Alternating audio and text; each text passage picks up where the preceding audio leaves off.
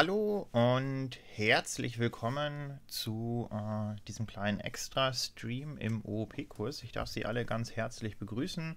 Äh, Sie wollen, können Sie auch ganz kurz Hallo sagen im äh, Chat. Heute in etwas kleinerer Runde natürlich, so äh, früh am Morgen. Mhm, aber diejenigen von Ihnen, die jetzt so früh aufgestanden sind, und äh, dabei sind, die kriegen auf jeden Fall noch ihre Portion OP in dieser Woche. Ähm, wir machen heute da weiter, wo wir am Montag aufgehört haben. Wir sind ja immer noch dabei, unser kleines äh, 2D-Shooter-Spiel zu implementieren. Und ähm, ich würde auch gar nicht so viel vorweg äh, wieder in Theorie verfallen, sondern eigentlich äh, am liebsten direkt mit Ihnen anfangen zu implementieren. Ähm, wir können vielleicht ganz kurz einmal drauf schauen, was wir eigentlich erreichen wollten, ähm, was also unser Ziel äh, ist und wenn Sie da nochmal ganz kurz mit mir hier auf diese Skizze schauen, ähm, das ist das, was wir umsetzen wollen. Wir wollen so ein kleines 2D-Spiel implementieren. Unsere Spielfigur ist dieser gelbe Kreis, den können wir mit den WASD-Tasten steuern. Ähm, wir haben einen Mauszeiger oder so ein Fadenkreuz, das wir äh, bewegen können und können Projektile verschießen. Wir haben Gegner, die außerhalb des, Bild des Bildschirms gespawnt werden und sich dann immer ähm, so magnetisch dem ähm, der Spielfigur nähern. Und unsere Aufgabe als Spieler, als Spielerin ist es, äh, diese gegnerischen Figuren abzuschießen, indem unsere Projektile die treffen. Die Projektile machen dann Schaden und ähm, der aktuelle Zustand der Gegner wird über so eine kleine Lebensbar äh, oder Health-Bar angezeigt über den Gegnern und äh, wenn die dann runtergeschossen ist, dann äh, verschwinden die Gegner auch. Also das ist so unser Ziel und ähm, wir haben uns äh, vorgenommen, das grob zu unterteilen in einmal solche Szenen. Das sind die Haupt- Strukturelemente unserer Anwendung. Wir werden eine Intro-Szene haben, die haben wir teilweise auch schon implementiert. Und wir werden eine Spielszene haben, in der das eigentliche Spiel abläuft. Man kann zwischen denen hin und her wechseln und jede Szene ähm, hat einen bestimmten Zustand immer. Also die wird entweder gerade dargestellt und gespielt oder pausiert möglicherweise. Ähm, und unsere Graphics-App, diese zentrale Stelle unserer Anwendung, die übernimmt dann die Rolle äh, der Regie und wechselt zwischen diesen Szenen hin und her zweite ähm, größere Metapher, die wir versuchen umzusetzen, ist das Prinzip von solchen Actors. Ähm, das ist eine Ebene drunter. Jede Szene verfügt über eine Menge von ähm, Objekten oder Schauspielerinnen, die irgendwie auf der Szene agieren, in der Szene agieren und die bilden wir alle durch äh, Klassen ab, die von dieser Actor-Klasse äh, abgeleitet werden. Das heißt, wir haben so eine Superklasse Actor, genauso wie diese Base-Scene eine Superklasse war. Und alles, was irgendwie in diese Szene reingehört, sich dort bewegt und irgendwie handelt im Spiel, ähm, wird von dieser Klasse abgeleitet. Also zum Beispiel sowas wie unsere Spielfigur, wie diese Gegner oder wie die Projektile, die wir verschießen. Dann werden wir sicherlich noch ganz, ganz viele andere Klassen brauchen. Ähm, aber jetzt so für den Anfang, um wieder fortzusetzen, sind das die beiden Sachen, die Sie sich nochmal erinnern sollen. Also einmal die Tatsache, dass wir so Szenen haben. Ähm, eine Szene besteht unter anderem aus einer Liste von Actors und die Actors sind ähm, die Objekte, die unser Spiel dann letztendlich ausmachen. Die Graphics App ähm, sagt dann immer der aktuell ausgewählten Szene in jedem äh, Frame, dass die Szene sich darstellen soll oder gerendert werden soll. Und die Szene ähm, aktualisiert dann erst alle Actors, die in der Szene aktuell da sind und äh, zeichnet die danach. Und das wird abhängig äh, davon passieren, ob die Szene äh, tatsächlich gespielt werden soll oder ob sie pausiert ist. Das haben wir schon eingebaut. Okay. Ähm, wir haben auch so ein bisschen drumherum. Ähm, wir haben diese Graphics-App, ähm, die das Ganze initialisiert und wie gesagt diese Regie übernimmt. Und eigentlich würde ich damit jetzt auch ähm, direkt mal weitermachen. Ich wechsle mal ganz kurz zu IntelliJ und wir schauen uns mal ganz kurz gemeinsam an, hm, was wir jetzt eigentlich tatsächlich für einen äh, Stand erreicht haben. Ähm, wenn Sie mitmachen möchten, ich poste es gerne auch nochmal rein für die Leute, die jetzt nachträglich dazugekommen sind. Ähm, so vielleicht. Äh, Sie können sich den Stand, ähm, mit dem ich jetzt fortsetze, äh, runterladen. Das ist dieser erste Link in der Nachricht, die ich gerade gepostet habe.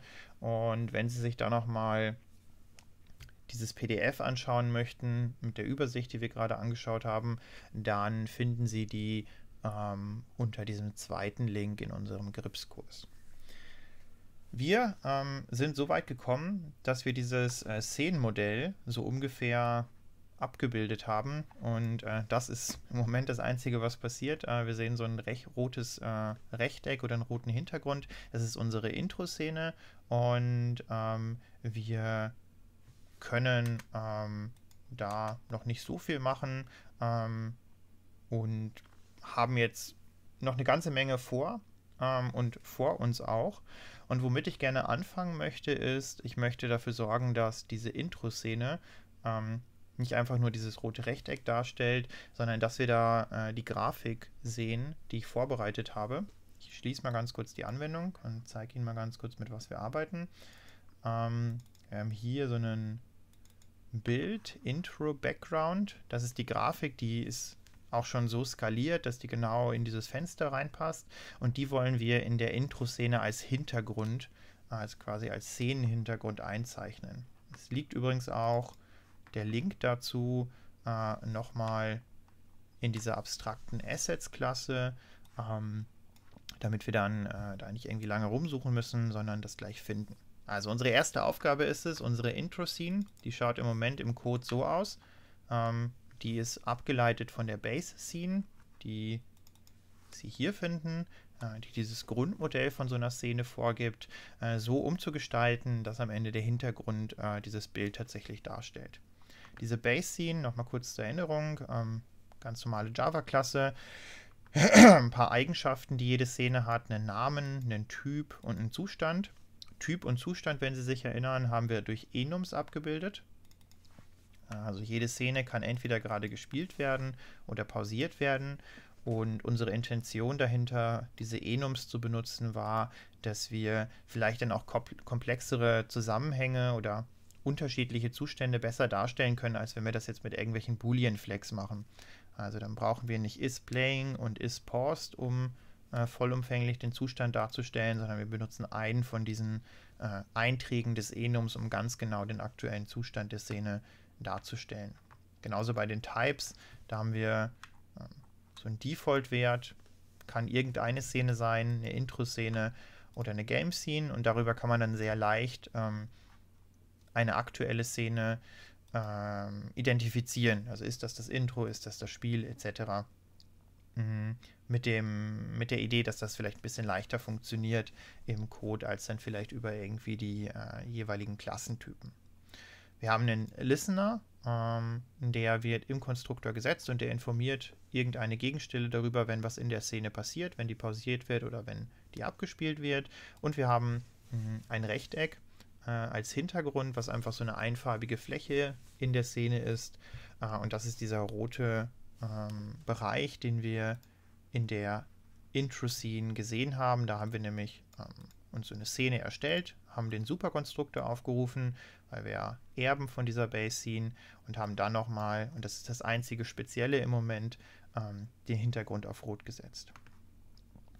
Okay, ähm, ich möchte diese Funktionalität, dass eine Szene ein bestimmtes Hintergrundbild haben kann, ähm, nicht spezifisch nur für die Intro-Szene implementieren, sondern ich möchte diese Möglichkeit jeder Szene geben. Also jede Szene, die wir später erstellen, soll ähm, bei Bedarf die Möglichkeit haben, so ein Hintergrundbild zu rendern. Und dazu ändere ich ähm, diese Instanzvariable. Im Moment ist es so, jede Szene, mh, hm, weil die ja von dieser Base-Szene abgeleitet wird, hat so eine Instanzvariable Rectangle, äh, Background vom Datentyp Rectangle. Ähm, das wird im Konstruktor gesetzt mit einer äh, entsprechenden ähm, einem entsprechenden Konstruktoraufruf für diese Rechteckklasse. Wir können, wenn wir wollen, die Farbe setzen und in der Render-Methode von der Szene wird dieser Hintergrund gezeichnet. Ähm, was ich jetzt mache ist, ich sage, dass dieses Rechteck äh, oder dieser Hintergrund nicht mehr eine Instanz der Rectangle-Klasse sein soll, sondern es soll einfach ein Graphics-Object sein. Das muss ich dann importieren. Und ähm, danach kann ich in diese Instanzvariable alles speichern, was irgendwie ein Graphics-Object ist. Sie erinnern sich, in äh, der Graphics-App, in dieser Library, die wir verwenden, um unseren Code zu schreiben, mh, sind diese ganzen sichtbaren Objekte ja abgeleitet von der Superklasse Graphics Object. Das heißt, ähm, jedes Rechteck, jeder Kreis, den wir zeichnen, jedes Bild ähm, hat so eine gemeinsame Superklasse. Das ist das Graphics Object. Und wenn Sie unterschiedliche Subklassen des gleichen Datentyps ähm, in einer Variable speichern möchten, also wahlweise da dann vielleicht ein Rechteck, äh, ein Circle oder was auch immer reinpacken möchten, dann können Sie das ähm, über diese Möglichkeit machen, diese Variable einfach ähm, bezüglich des Typen äh, mit der Oberklasse zu benennen. Also da kommt jetzt alles rein, was äh, ein Graphics Object ist. Und deshalb können wir da auch ein neues Rechteck reinspeichern. Wir können da auch, wenn wir wollen, einen neuen Kreis reinspeichern. Alles, was irgendwie in dieser ähm, Graphics Object ähm, Hierarchie drin hängt, kann da rein. Ganz wichtig ist, ähm, wenn wir dann auf die Variable zugreifen, können wir erstmal nur die Funktionen aufrufen, die auch wirklich jedes Graphics Object hat. Also zum Beispiel die Draw-Methode, die Set-Color-Methode und so weiter. Wenn wir auf spezifische Dinge zugreifen wollen, ähm, zum Beispiel ein Rectangle, ähm, ein Circle, wenn da irgendwie spezielle Methoden äh, in der Klasse drin wären, bei dem Bild vielleicht irgendwie das Größensetzen ähm, mit so einem Skalierungsfaktor, was irgendwie eine spezielle Methode wäre, die nur das Image hat und nicht jedes andere Graphics Object, dann äh, müssten wir diese Variable, äh, müssten wir erstmal feststellen, was da tatsächlich für ein Objekt drin ist. Also wir müssten zum Beispiel fragen, ähm, if this.background instance of ähm, image, dann wüssten wir, okay, in dieser Variable, in der alle möglichen Graphics Objects drin gespeichert sind, ist jetzt in diesem Fall ähm, tatsächlich eine Instanz der Image-Klasse drin. Und dann könnten wir ähm, aus dieser Variable über so einen Cast-Befehl wieder ein Hintergrundbild machen und dann die spezifischen äh, Methoden, wie zum Beispiel dieses ähm, GetPixelArray oder was ich gerade gemeint habe, äh, dieses skalierte Setzen von Höhe und Breite haben.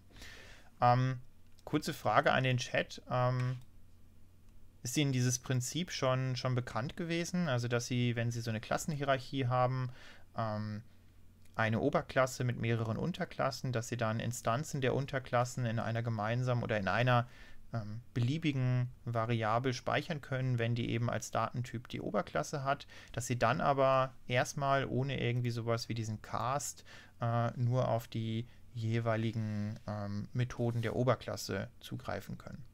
Schreiben Sie mal ganz kurz in den Chat rein, ob das jetzt ganz neu für Sie war oder ob Sie da schon, ob Sie da schon drüber gestolpert sind.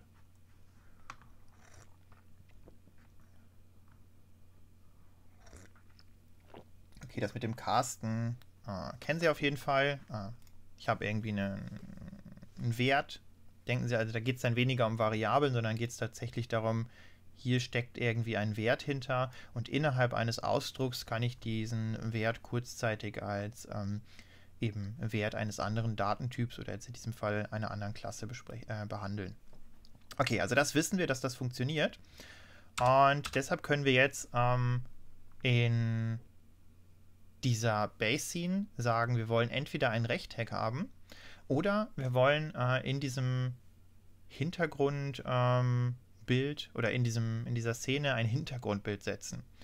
Und ich möchte jetzt die Möglichkeit haben, dass ich, wenn ich eine Szene erstelle, also wenn ich einen Konstruktor aufrufe, entweder so eine Standardszene erstellen kann, wo der Hintergrund eine Farbe hat, oder ich möchte ähm, eine Szene erstellen, ähm, in der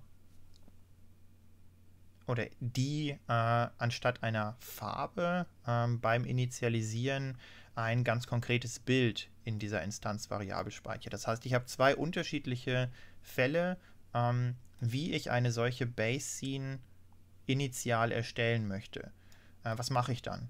Also schreiben Sie mal kurz in den Chat rein, was irgendwie so eine Strategie wäre. Ich habe eine Klasse ähm, und die soll auf mindestens zwei unterschiedliche Art und Weisen initialisiert werden können. Wie gehe ich da beim Modellieren äh, ganz konkret vor?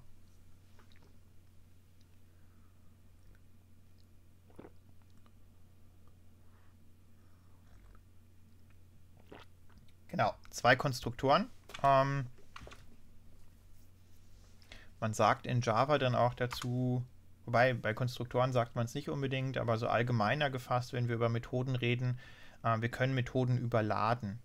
Ähm, sie können in einer Java-Klasse ähm, Methoden definieren, die den gleichen Namen haben, solange sich die hinsichtlich der Parameter unterscheiden. Und dann können sie Variationen von äh, Konstruktoren setzen und das machen oder auch von anderen Methoden äh, setzen und sich dann zur Laufzeit immer entscheiden, ähm, welche Variante oder die Laufzeitumgebung entscheidet dann, welche Variante gewählt wird, je nachdem, was für eine Signatur bezüglich der Parameter beim Methodenaufruf übergeben worden ist.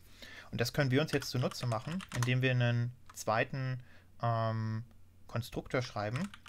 Äh, public ähm, Basecene ähm, vielleicht erstmal mit den gleichen Parametern, die wir immer brauchen. Also CName, CNeType, CNListener. Und wir übergeben als neuen Parameter ähm, den Pfad zu einem Hintergrundbild. Background Image Path. Und hier muss natürlich Base Scene stehen. So. Dann machen wir erstmal das gleiche, was wir ähm, auch schon gemacht haben für ähm, die, die normale Szene. Also hier Scene Type, Name und Listener initialisieren. Und das können wir machen, indem wir den anderen Konstruktor über das sys-Schlüsselwort aufrufen. Nicht das Superschlüsselwort, sondern ähm, das sys-Schlüsselwort. Ich schreibe es mal ganz schnell hin und dann schauen wir uns das zusammen an, was da genau steht. Ich rufe den ohnehin schon existierenden Konstruktor auf. Ich könnte jetzt auch die ganzen Sachen nochmal schreiben. Also ich könnte es auch so machen. Muss ich aber nicht machen, weil es gibt ja immer noch so einen Set an ähm, Dingen, die beim Initialisieren gleich sind. Und da muss ich das nicht extra nochmal schreiben, sondern ich kann ähm, erstmal auf diese Standardinitialisierung zurückgreifen, die eh passiert. Ähm, dass da jetzt so ein Hintergrundrechteck gesetzt wird, das ist mir jetzt egal. Das ist ein Objekt, was zusätzlich erstellt wird. Das macht mir jetzt keine großen Sorgen, was die Performance angeht.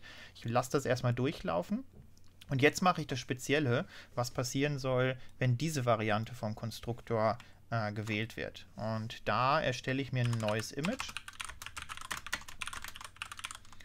Das positioniere ich an der Position 00.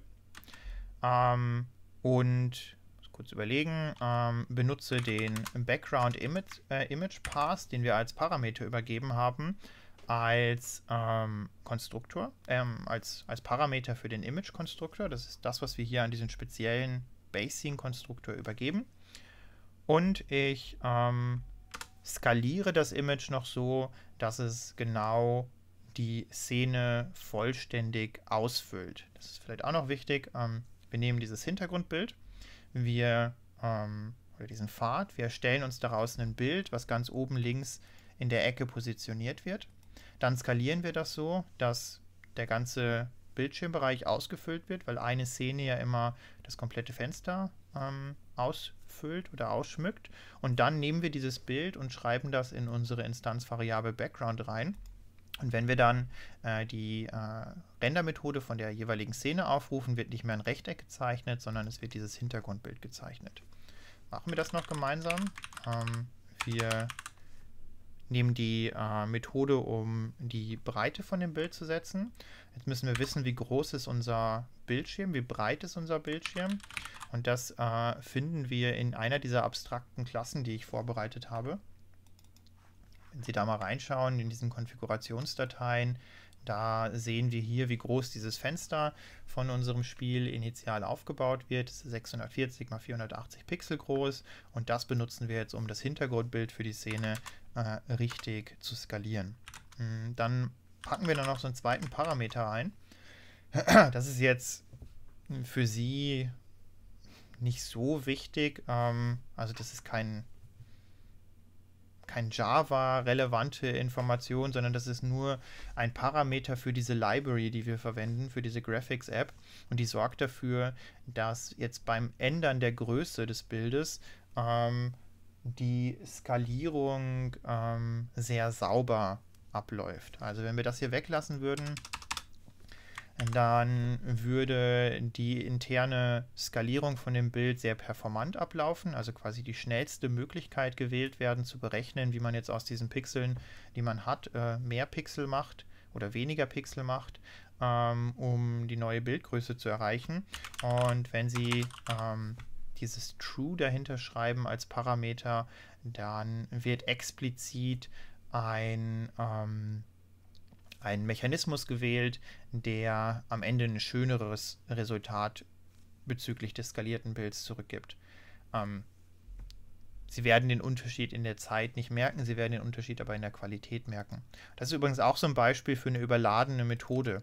Äh, die Image-Klasse hat einmal eine Methode, um die Breite zu setzen mit einem Parameter und eine Möglichkeit, eine Methode mit einem zweiten Parameter aufzurufen, in der dann explizit äh, nochmal bestätigt wird, ob dieser höher qualitative Modus für die Skalierung ausgewählt wird.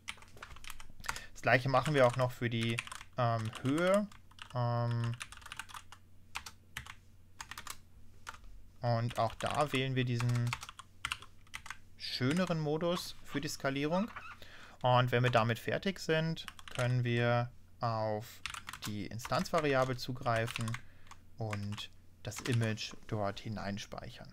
Jetzt haben wir eine alternative Möglichkeit, eine Szene zu erstellen ähm, und zwar mit so einem Hintergrundbild. Und das nutzen wir jetzt in der Intro-Szene. Da rufen wir nicht mehr diesen einfachen Superkonstruktor auf, sondern den neuen, den wir gerade gemacht haben. Und das machen wir, indem wir in dem existierenden Konstruktoraufruf einen ähm, Parameter ergänzen, um ich schaue mal ganz kurz, wo finde ich das nochmal? Unter Assets, glaube ich. Ähm, Augenblick. Unter Assets. Und da finde ich den Pfad, genau, Introscene Background Image. Da versteckt sich dieser Bildpfad. Das ist hier dieses Hintergrundbild, was ich Ihnen gezeigt habe. Und das äh, soll verwendet werden, um ähm, diese Intro-Szene zu initialisieren. Wir benutzen jetzt diesen alternativen Weg, eine Szene zu erstellen und ähm, dazu ähm, übergeben wir den Ort, wo äh, dieser Konstruktor von der Base-Scene das Bild findet, was verwendet werden soll. Schauen wir mal, ob das funktioniert hat. Ich äh, lösche ganz kurz hier diese Importanweisung, die wir nicht mehr brauchen. Wir haben ja vorher mit Farben gearbeitet. Es fällt jetzt weg. Dementsprechend äh, müssen wir auch diese Klasse nicht importieren und dann starten wir die Anwendung mal.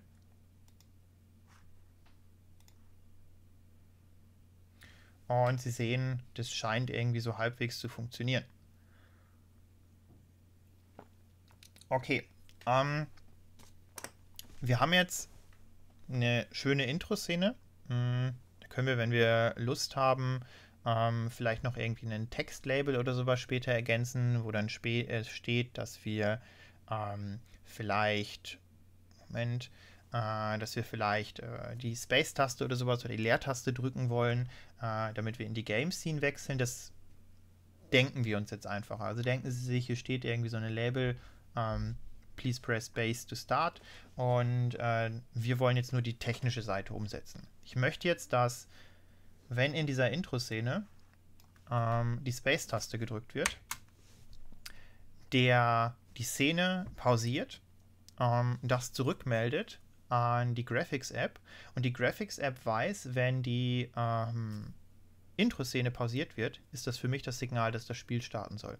Also was wir jetzt machen werden, ist, wir werden dafür sorgen, dass die Intro-Szene ähm, erstmal den Hinweis bekommt, dass eine Taste gedrückt ist. Dann werden wir als Reaktion auf diesen Tastendruck äh, die Szene pausieren. Und wir haben am Montag schon implementiert, dass wenn ähm, eine Szene pausiert wird, unsere Graphics-App das mitbekommt. Denn unsere Graphics-App ist ja so ein Scene-Listener und ähm, da äh, haben wir die entsprechenden Callback-Methoden schon realisiert. Also dieser Kommunikationsweg zwischen der Intro-Scene und ähm, unserer Graphics-App, der ist schon da. Das heißt, wir müssen jetzt die andere Richtung implementieren. Es geht jetzt darum, dass wir ähm, dafür sorgen, dass äh, die äh, Tastatur-Events, die wir klassischerweise erstmal in der Graphics-App äh, selber abfangen, weitergegeben werden an die Szenen. Und ähm, weil dieses Weitergeben von, ähm, von Input-Events in der Anwendung selber noch auf ganz, ganz vielen anderen Ebenen passieren wird. Also wir geben jetzt als Graphics-App diese, ähm, diese Input-Events weiter an die Szenen. Ähm, die Szenen verarbeiten die jetzt in diesem Fall bei der Intro-Szene direkt oder geben das selber weiter an die verschiedenen Actors. und vielleicht gibt es bei denen auch noch irgendwie eine Unterstufe, ähm, würde ich das gerne ein bisschen ähm, formalisieren. Also ich würde ein bisschen äh, darauf schauen, dass ich äh, das ordentlich hinbekomme und dass vielleicht dieses Weitergeben von ähm, Eingabe-Events aus der Graphics-App immer eine Ebene tiefer, äh, vielleicht auf die gleiche Art und Weise passiert. Das heißt, ich habe jetzt am Ende mh, hm, eine Reihe von Klassen, die, wenn Sie die Szene und die Actors zum Beispiel anschauen, mh, nicht in einem direkten äh, Vererbungsverhältnis stehen. Also Szenen und Schauspieler haben in unserer Java-Klassenhierarchie nichts miteinander zu tun. Die sollen aber beide mh, auf die gleiche Art und Weise auf diese Eingabe-Events reagieren. Also ich möchte vielleicht die gleichen Methoden haben, um äh, denen zu sagen, eine Taste wurde gedrückt, mach was damit wie können wir das äh, in unserem Spiel abbilden? Also wie können wir irgendwie dafür sorgen, dass diese unterschiedlichen Klassen, ähm, die eine unterschiedliche Klassenhierarchie haben, wo wir nicht mit Vererbung irgendwie arbeiten können, also Actors und ähm, Scenes werden nicht von der gleichen Superklasse erben, zumindest nicht direkt. Äh, die sollen aber trotzdem für uns die gleichen öffentlichen Methoden anbieten, um äh, denen äh, ein, eine Möglichkeit zu geben, Events ähm, zu empfangen. Genau, Sie schreiben es schon rein, Interfaces sind äh, die richtige Möglichkeit. Und wir schreiben uns jetzt einfach, ähm, auch wenn es vielleicht schon ein passendes Interface in der äh, Graphics-App gibt, ein kleines eigenes Interface, um ähm, diese Funktionalität zu implementieren. Und dazu ähm, erstellen wir uns ein neues Package. Ähm, das nenne ich Game Input vielleicht. Das ist doch ein guter Name. Und äh, in diesem Input ähm, Package erstellen wir uns jetzt zuallererst mal ein Interface für die Weitergabe von Tastatur-Events. Ähm, Maus-Events kommen später auch, weil ja unsere Spielfigur äh, unter anderem auch mit der Maus gesteuert wird stellen wir uns ein neues Interface in, dieser Input, ähm, in diesem Input-Package und nennen das Keyboard Input-Händler. Also Händler, irgendjemand, der mh, mm, irgendwas verarbeitet. Also ist auch so ein Begriff, den Sie häufiger finden ähm, in so Klassenhierarchien oder überhaupt bei irgendwie der Benennung von irgendwelchen Komponenten in Software. Und was verarbeitet der? Der verarbeitet Eingaben vom Keyboard und deshalb ist es ein Keyboard-Input-Händler. Das ist ein Interface ähm, und dieses Interface bekommt jetzt die Methoden äh, mitgegeben, die jede Klasse, die dieses Interface implementiert, äh, haben soll. Und äh, das sind dann ähm, zwei Methoden erstmal für, für diesen Fall. Eine Methode ähm, void handle key pressed. Und ähm, dem übergeben wir, muss ich kurz überlegen, ähm, dem übergeben wir vielleicht sogar, ähm, dem übergeben wir vielleicht tatsächlich den, äh, das Event-Objekt, was wir eh schon aus der Graphics-App bekommen. Also Sie erinnern sich, es gibt ja so ein Key-Pressed-Event-Objekt und das bekommen wir, Import Class, genau, ähm, das bekommen wir in der Graphics-App ähm, automatisch über die dort äh, schon existierenden Callback-Methoden von dieser Graphics-App-Umgebung übergeben. Also wir bekommen mal dieses kleine ähm, Objekt ähm, in der Graphics-App, was uns Informationen über diesen aktuellen Event übergibt. Ähm, welche Taste wurde gedrückt, wann ist das passiert. Und die geben wir jetzt weiter an unsere speziell für dieses Spiel implementierten Keyboard-Input-Händler. Und das machen wir einmal für, den, äh, für das Ereignis, wenn eine Taste gedrückt wird und einmal, wenn eine Taste losgelassen wird. Und da benutzt die Graphics-App Umgebung dann einen, ein alternatives, äh, eine alternative Klasse, das ist die Key Released Event Klasse. Und äh, die beinhaltet dann die Information über das Ereignis, wenn die Taste losgelassen wird. Ähm, Public müssen wir nicht davor schreiben. Hm, warum müssen wir hier kein Public davor schreiben? Also warum sagt ähm, IntelliJ können wir uns sparen?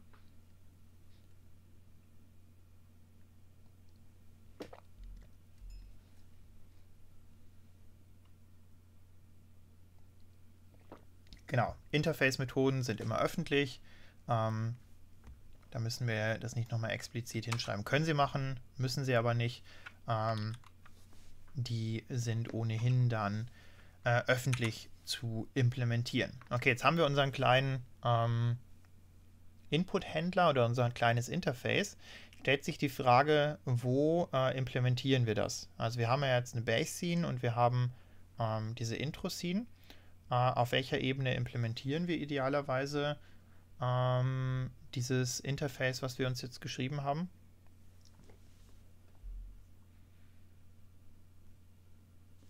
Also nochmal zur Erinnerung, das ist eine Funktionalität, die soll jede Szene haben.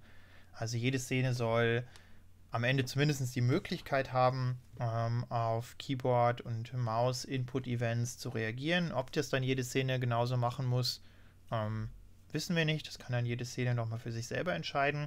Aber erstmal ist das was, was alle Szenen mit hoher Wahrscheinlichkeit ähm, als Funktionalität haben müssen. Und äh, dementsprechend implementieren wir das in unserer Base-Scene. Das heißt, wir schauen in unsere Base-Scene-Klasse rein und wir implementieren auf der Ebene unseren Keyboard-Input-Händler. Dann werden wir ähm, aufgefordert, werden wir nicht aufgefordert, äh, das zu implementieren oder vorzugeben, ähm, weil, ne, doch werden wir aufgefordert. Ganz kurz. Ganz kurz überlegen, wo wir das idealerweise jetzt implementieren. Ähm wir machen es mal so dass wir äh, das schon in der Base-Scene implementieren. Das heißt, wir ergänzen in der Base-Scene ähm, tatsächlich äh, schon die entsprechenden Methoden, also Handle, Key Pressed, Released. Und ähm,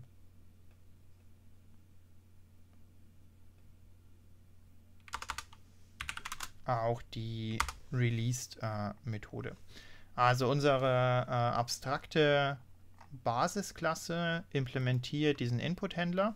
Hm. Wir müssen das jetzt nicht, weil es eine abstrakte Klasse ist, äh, an dieser Stelle implementieren. Wir könnten das quasi auch weiter nach unten reichen, dass dann alle ähm, Klassen, die von dieser abstrakten Klasse abgeleitet sind, ähm, diese äh, durch das Interface vorgegebene Methoden implementieren. Wir können es aber auch so machen, dass wir es hier direkt äh, in der Base-Scene als leere Methoden äh, implementieren. Also da passiert nichts im Moment. Und wir überschreiben das dann in ähm, den jeweiligen Szenen, wenn wir dann noch irgendwie gesondert darauf reagieren müssen. Diese zweite Variante, ähm, das schon in der Base-Scene zu implementieren, ähm, wird später deshalb ähm, sinnvoll, weil wenn wir diese Schauspieler, diese Actors haben, und die werden ja dann auch in der Base-Scene wahrscheinlich ähm, abgespeichert oder angelegt, weil ja alle Szenen über Actors verfügen, dann können wir hier schon mal ähm, bei Bedarf ähm, in dieser Base-Scene, in dieser abstrakten Variante von unseren ähm, Szenen dafür sorgen, dass die Input-Events, die hier eingehen, an alle ähm, Actors weitergegeben werden. Also das ist jetzt was, was hier später kommt. Das können wir auch vielleicht einfach mal notieren.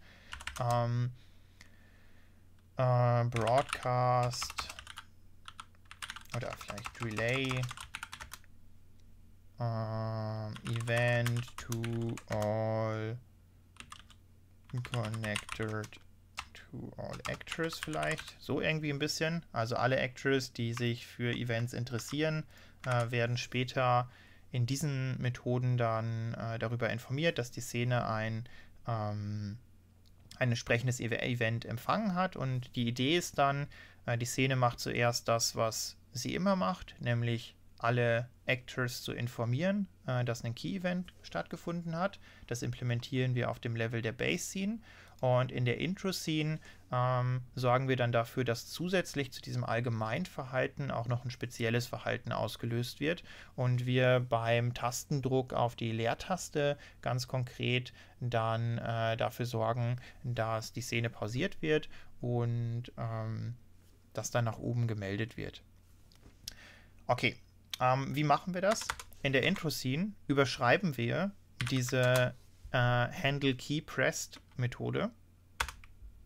Wir sorgen erstmal dafür, durch den Superaufruf, dass das passiert, was jede Szene machen soll, wenn eine Taste gedruckt wird. Ähm, Im Moment passiert da noch nichts. Sie haben ja gesehen, dass die Methode leer ist. Später passiert dann da irgendwie so ein generelles Verhalten.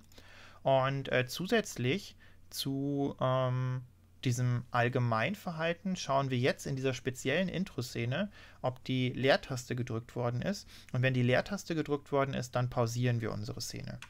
Das heißt, wir schauen jetzt an dieser Ehe an der Stelle if event.getKeycode. Ähm, da sind wir wieder auf dem Level, das kennen Sie aus anderen ähm, Aufgaben mit der Graphics-App. Wir schauen uns äh, diesen numerischen Wert an, mit dem die ähm, Keycodes ähm, repräsentiert werden. Also die einzelnen Tasten haben irgendwie einen numerischen Wert, ähm, der jede Taste individuell repräsentiert. Äh, das steckt in diesem Event-Objekt drin, kann über die GetKey-Event, äh, GetKeyCode-Methode ausgelesen werden und kann verglichen werden. Und dann macht das Ganze wieder äh, sehr viel Sinn. Durch eine ganze Reihe von Konstanten, die auch in dieser Klasse definiert sind und ähm, mit der man dann eben herausfinden kann, ohne dass man diese ganzen äh, numerischen Werte auswendig wissen muss, äh, welche Taste gedrückt ist. Und uns interessiert VK Space, äh, Taste 32, äh, das ist die Leertaste. Und wenn das passiert, dann wollen wir, dass diese Szene pausiert wird. Und dieses Pausieren, das kann ich einfach hier hinschreiben, weil das haben wir in der Base Scene selber schon implementiert. Da haben wir äh, schon die entsprechende Methode. Der Scene State wird auf Paused gesetzt und wir informieren den angeschlossenen Scene Listener, dass diese Szene sich jetzt gerade selber in diesen Pause-Modus überführt hat. Das heißt, unsere Intro-Szene hat jetzt ein Bild, ähm, reagiert auf die entsprechenden Events und ähm, sorgt dafür, dass bei einem Tastendruck auf die Space-Taste die Szene pausiert wird müssen wir einen Schritt zurückgehen in unsere eigentliche Graphics-App und schauen, ob wir da schon alles vorbereitet haben, damit das funktioniert. Und da fehlt noch was. Hm, da fehlt nämlich äh, die Möglichkeit oder da fehlt dieser ganze Weg, ähm, der überhaupt erst auslöst, dass wir ähm, in den Szenen die entsprechenden Events abfangen können. Denn wir geben die Key-Events, die hier im Moment noch gar nicht abgefangen werden in der Graphics-App, nicht weiter an äh, die jeweilige Szene. Und das müssen wir jetzt noch implementieren. Also wir müssen in der Graphics-App erstmal die, also hier in unserer zentralen Anwendung, ähm, die entsprechenden Methoden überschreiben, um Key-Events abzufangen und müssen das dann weitergeben an die aktuelle Szene. Die ist ja immer hier gespeichert und wird von der Graphics-App hin und her gewechselt. Und äh, damit lösen wir dann diese Kettenreaktion aus, dass die Szenen selber mh, hm, sich um die Verarbeitung von den Tasten kümmern. Das heißt, wir ähm, implementieren vielleicht hier unten, das nämlich kurz überlegen, was für mich irgendwie was ist, wo ich es wiederfinde. Ja, machen wir es mal an der Stelle. Ähm, wir überschreiben die OnKeyPressed-Methoden und OnKeyReleased-Methoden, die in der Graphics-App vorgegeben sind. Also ganz kurz zur Einordnung. Wir bewegen uns jetzt auf dem Level von zwei Methoden, die jede Graphics-App hat. Es hat nichts mit unserem äh, Key-Input-Händler zu tun, den wir geschrieben haben. Die Methoden heißen halt nur zufällig gleich. Es kann ja sein. Also Klassen können gleich benannte Methoden haben.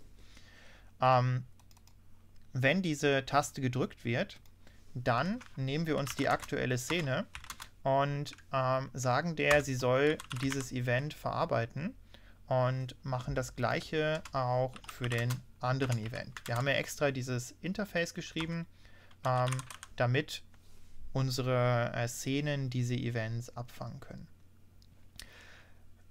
Wir machen ein ganz kleines bisschen Fehlerkorrektur, denn es könnte sein, dass ähm, während wir noch die Szenen initialisieren, also während vielleicht noch gar keine Szene gespielt wird aktuell und äh, in dieser Variable gespeichert ist, ähm, wir schon einen Tastendruck über den Rest der Graphics-App ähm, bekommen und hier verarbeiten. Und das sollten wir ähm, nicht irgendwie äh, unberührt lassen oder nicht unbeachtet lassen. Und was wir machen können ist, weil wir diesen Supercall eh nicht brauchen. Also wir müssen nicht äh, irgendwie diese On-Key-Pressed-Methode aus der originalen Variante von der Graphics-App Basisklasse aufrufen, weil da passiert auch nichts, kann ich Ihnen verraten. Ähm, können wir das wegschmeißen und wir machen wieder so ein kleines Early Return. Wir schauen uns an, mh, hm, haben wir überhaupt gerade eine aktuelle Szene, der wir irgendwie ein Key-Event weitergeben können. Und wenn das nicht der Fall ist, dann gehen wir einfach aus dieser Methode raus. Also dann interessiert uns der Rest nicht und äh, sonst handeln wir das. Jetzt in dem Fall könnte ich mir auch vorstellen, dass man es vielleicht eher so macht. Da müsste man jetzt vielleicht mal ein bisschen drüber überlegen, ähm, was irgendwie sinnvoller ist. Ich schreibe mal beide Varianten hin, weil wir brauchen das ja hier eh äh, für die zweite Methode. Current Scene ist gleich null dann hör auf, diese Methode zu verarbeiten. Wenn nicht, äh, handle bitte den Release-Event und ähm, kümmere dich darum. Schauen Sie sich mal beide Varianten an. Ähm, Early Return und dann im Fall, dass wir nicht aus der Methode rausgekommen sind, das, was wir immer machen sollen, nämlich den Event weitergeben. Oder ähm, schauen, ob die Current Scene aktuell äh, nicht null ist, also ob da was drin steht und dann Weitergabe ähm, des Events. Ähm, wenn Sie sich das beides anschauen, das hier ist Variante A, das ist Variante B. Sagen Sie mir mal, was Sie bevorzugen würden. Also ich glaube jetzt nicht, dass man zu stark irgendwie das in richtig falsch ähm, einsortieren kann. Ich glaube, beides kann man durchaus akzeptieren. Ähm, aber sagen Sie mir mal, was Sie lieber finden. Und vielleicht auch tatsächlich, so wie es gerade im Chat schon steht, kurz begründen.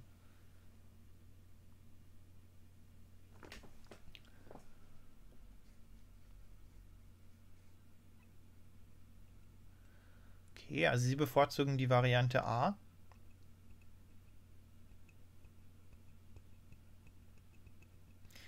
den Laien sicherlich B.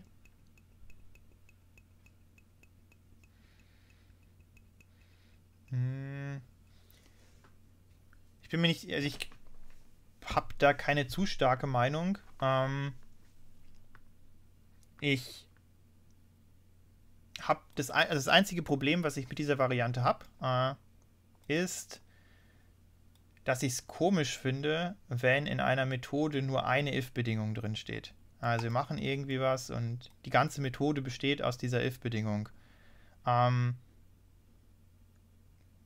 das ist mein, mein äh, einziger Kritikpunkt irgendwie daran, dass ich da irgendwie so ein äh, subjektives Gefühl habe, dass ich das für nicht so schönen Code handle, halte. Wenn ich eine Methode habe, in der ähm, ist die einzige äh, Aktion, die möglicherweise in dieser Methode durchgeführt wird, in irgendwie einer if-Bedingung gepackt. Natürlich, äh, am Ende kompiliert das zum, zum gleichen ähm, Ergebnis, also zumindest funktional.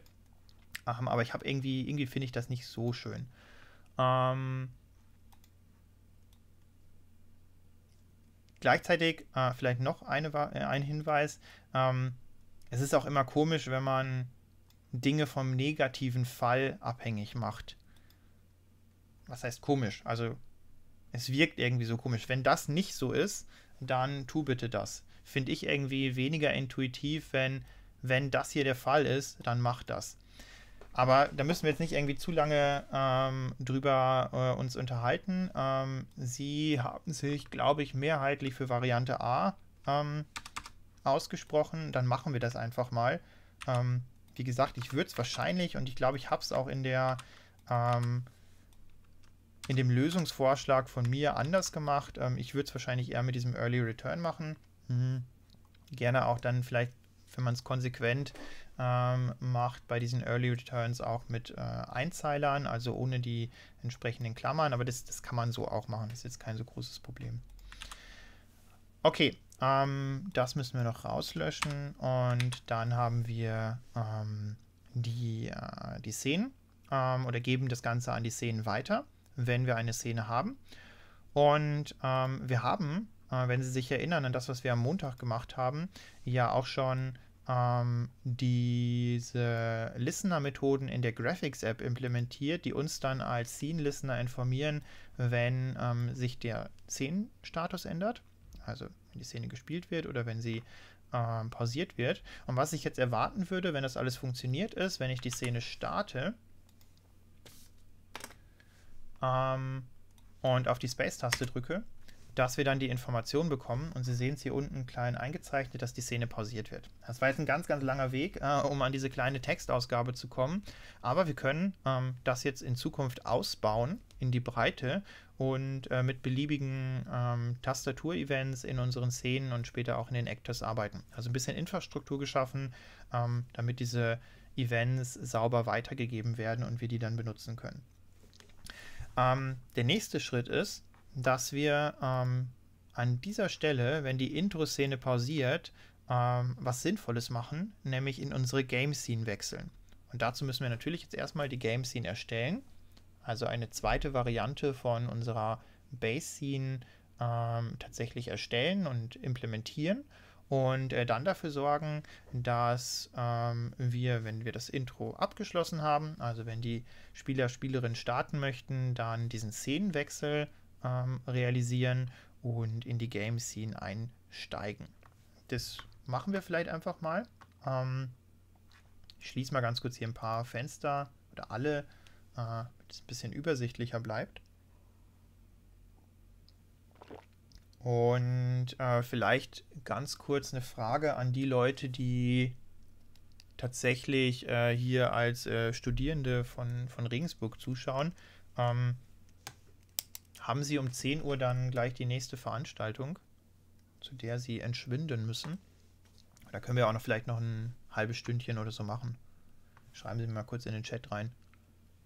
Ich habe ja eh angekündigt, dass ich dieses Beispiel mit Ihnen, das, das ziehe ich auf jeden Fall durch. Ähm, das heißt, Sie müssen sich keine Sorgen machen. Äh, wir machen das dann einfach im Laufe der nächsten Tage und Wochen immer so ein bisschen abends oder so ähm, und programmieren da schön weiter. Äh, da müssen Sie sich keine Sorgen machen, dass Sie irgendwas verpassen. Ähm, wir fangen an, unsere Spielszene zu implementieren. Dazu gibt es ein neues Package in unserem Scene Package. Ähm, das nenne ich Game. Und da kommt unsere äh, neue Szene rein. Die wird äh, Game Scene genannt. Und wird das schon mal so als äh, Hinweis auf die Zukunft ähm, die Szene sein, in der äh, das eigentliche Spiel ablaufen wird. Das heißt, da ähm, wird, äh, werden die Spielfiguren, die Gegner und so weiter angezeigt, da wird die Spiellogik implementiert. Oder zumindest wird die Spiellogik da gesteuert. Äh, Im Idealfall lagern wir das alles so weit aus, dass ähm, wir da so eine gewisse Trennung haben zwischen der Szene und ähm, dann dem Interpretieren der Spielregeln, dem Spielablauf, ähm, der sich dann auf, einem, auf einer Ebene drunter äh, tatsächlich dann äh, abspielen wird. Aber das wird der zentrale, die zentrale Stelle sein, an der unser eigentliches Spiel im Gegensatz zu der Intro-Szene gesteuert wird. Und das ist auch eine Spielszene oder eine Szene innerhalb unseres Spiels und dementsprechend ähm, wird das natürlich ein, äh, eine Unterklasse von der Base-Scene sein. Sagt uns IntelliJ wieder, dass wir ähm, eine ganze Menge äh, ergänzen sollen an verschiedenen äh, Konstruktoren, ähm, weil die jetzt fehlen. Wir lassen das aber mal weg ähm, und schreiben unseren eigenen Konstruktor. Also wir schreiben uns einen eigenen Konstruktor für unsere Spielszene, Public Game Scene, der wir eigentlich nur einen Scene Listener übergeben müssen. Viel mehr Parameter brauchen wir nicht, um eine neue Game Scene zu erstellen. Wir importieren die entsprechende Klasse. Wir rufen den Superkonstruktor auf. Ähm, und zwar mm, mit einem Namen für die Szene. Ähm, Game Scene. Ich schaue mal ganz kurz, wie wir es in der, in der anderen Szene gemacht haben. Nicht, dass ich das zu stark verändere. Genau, wir haben da auch den Namen direkt reingeschrieben als Literal. Ähm, könnte man vielleicht in einer Konfigurationsdatei oder so auslagern. Machen wir es jetzt aber mal so. Wir sagen, dass unsere neue Szene vom Typen her eine Spielszene sein soll. Nochmal zur Erinnerung, diesen Enum-Wert benutzen wir nur, um die Szenen ein bisschen leichter später zu identifizieren. Ähm, das könnten wir auch über den Klassennamen machen, also Instance of oder so. Ähm, aber sie haben sich ja gewünscht, dass wir häufiger Enums verwenden äh, um das ein bisschen zu trainieren. Deshalb überall Enums, auch für den Szenentyp. Und äh, wir übergeben zusätzlich noch unseren Listener. Ähm, viel mehr überlege ich gerade, ähm, würden wir wahrscheinlich da jetzt erstmal nicht ähm, implementieren. Da kommt gleich noch ganz viel dazu. Aber ich möchte jetzt erstmal diesen Übergang zwischen Intro-Szene und äh, Game-Szene implementieren. Das heißt, es reicht uns erstmal, dass wir diese Klasse haben, die eine Spielszene später repräsentieren wird. Und äh, wir kümmern uns jetzt darum, dass ähm, wir zusätzlich zu der Intro-Szene auch diese Game-Scene in ähm, unserer Graphics-App kennen. Und dass wir, wenn die Intro-Szene pausiert wird, zu dieser Spielszene wechseln. Also das ist jetzt unser Plan, unser nächster Schritt. Dazu äh, schauen wir wieder in unsere Graphics-App und schauen uns nochmal ganz kurz an, wie wir das am Montag gemacht haben ähm, bezüglich der Initialisierung von den Szenen. Wenn Sie sich erinnern, ähm, unsere Graphics-App wird initialisiert. Das ist hier dieser Einstiegspunkt, äh, die Methode, die einmal am Anfang ausgeführt wird. Da müssen wir uns nicht drum kümmern. Ähm, die überschreiben wir nur und dann ist das das, was automatisiert beim Start der Anwendung passiert. Da gibt es so eine Init-Scene-Methode. Da haben wir uns eine Hashmap angelegt, in der wir alle Szenen speichern, ähm, die unter einem bestimmten Namen dann verfügbar sind, ähm, einfach um da schneller darauf zuzugreifen äh, oder zugreifen zu können. Ähm, haben da unsere Intro-Scene auch schon erstellt machen das gleiche jetzt für unsere Game Scene.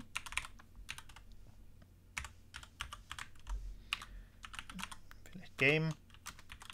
Erstellen auf der Basis der äh, Klasse, die wir gerade eben angelegt haben, eine neue Szene. Ähm, wenn Sie sich erinnern, der einzige Parameter war ein Scene Listener und wir implementieren auf dieser Ebene dieses Interface. Ähm, das sind diese beiden Methoden, mit der wir die Zustandsänderung der Szene mitgeteilt bekommen und ähm, wir sagen der Game Scene, die wir hier erstellen, dass diese Graphics App der Scene Listener sein soll. Wenn das durchgelaufen ist, dann switchen wir oder wechseln wir ähm, beim Start der Anwendung zu der Intro-Szene. diese Methode ähm, schaut nach, ob es eine Szene unter dem Namen in der Hashmap gibt. Ähm, wenn nicht, wechseln wir, äh, gehen wir aus der Methode raus. Wenn äh, aktuell eine andere Szene gespielt wird, dann pausieren wir und wir speichern uns dann in dieser, An in dieser Instanzvariable die ähm, neue Szene, die wir aus der Hashmap rausgelesen haben und starten die. Und diese Methode können wir jetzt nutzen, um in dem Moment, wo uns das Intro sagt, ähm, der Spieler, die Spielerin hat auf die Space-Taste gedrückt und die Szene pausiert. Und das kommt ja hier dann rein, in die andere Szene zu wechseln. Das heißt, wenn wir das Signal bekommen, eine Szene wurde pausiert, ähm, schauen wir uns an, welche Szene war das. Und wenn uns die Intro-Szene sagt, äh, dass die pausiert worden ist, dann ist das für uns das Signal, okay, ähm, wir können das Intro ähm, beenden und können ähm, die weitere Spielszene starten. Vielleicht wäre es an der Stelle, fällt mir gerade ein, äh, super sinnvoll gewesen, wenn wir einen dritten State haben, äh, nämlich irgendwie so einen Stop-State und an der Stelle vielleicht nicht beim Pausieren, sondern beim Stoppen der Szene äh, diesen Wechsel machen können. Haben wir jetzt leider nicht gemacht. Ähm, es fällt einem immer dann dabei ein, wenn man irgendwie kleine Fehler oder sowas gemacht hat. Ich arbeite jetzt mal mit diesem, mit diesem mentalen Modell weiter, dass wenn die Intro-Szene pausiert wird, ähm, die Spielszene starten soll, habe aber im Hinterkopf, dass es eigentlich viel logischer wäre, dass äh, das passiert, wenn die Intro-Szene gestoppt wird und nicht pausiert wird.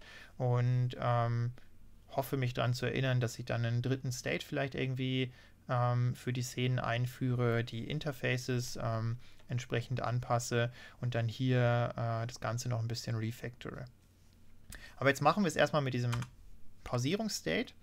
Ich ähm, schaue in die ähm, in diese Szene rein, die äh, mir gerade mitgeteilt hat, ähm, dass sie pausiert worden ist. Schaue mir an, um was für eine Szene es sich handelt und äh, entscheide dann dementsprechend, äh, was ich tun möchte. Und äh, dazu muss ich ganz kurz, genau, da ähm, an der Stelle äh, so eine kleine if-Bedingung einbauen. Ähm, if scene Punkt äh, getType, also um was für eine Art von Szene handelt es sich, ist gleich SceneType. Intro. Also wenn die Intro-Szene pausiert worden ist, dann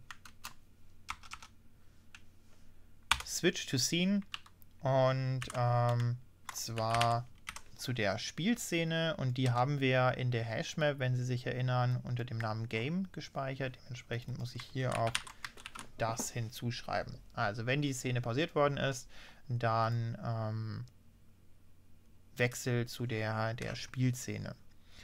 Ähm, und nochmal der Hinweis, ähm, wir haben hier diese Enums, ähm, weil Enums ganz toll sind und man die nicht äh, zu, nie zu viel benutzen kann. Gleichzeitig hätten wir aber hier auch die Möglichkeit, das so zu machen. Ähm, if scene instance of ähm, intro scene also wenn es sich bei der Szene, die hier als Parameter oder im Parameter als Base Scene übergeben wird, um eine spezialisierte Form der Base Scene handelt und zwar um eine Instanz der Klasse Intro Scene, dann Switch to Scene Game. Wäre das gleiche. Also wir benutzen halt nur diesen Typen, weil wir den in der Szene abgebildet haben. Und theoretisch könnte es ja sein, dass wir unterschiedliche Varianten von dem Intro vielleicht implementieren. Die haben alle den gleichen Typ, aber sind in einer speziellen Klasse abgebildet.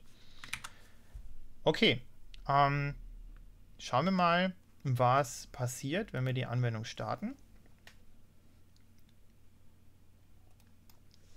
Und wenn ich auf die Space-Taste drücke, äh, dann bekommen wir Fehlermeldung. Und schauen mal, was da das Problem ist.